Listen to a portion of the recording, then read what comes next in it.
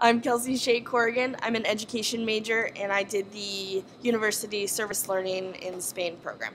Yes, I would definitely recommend this program to other students just because uh, you do get an eye opening perspective of other cultures and you get um, you get to see how something so simple as school that's so uniform here can be so different there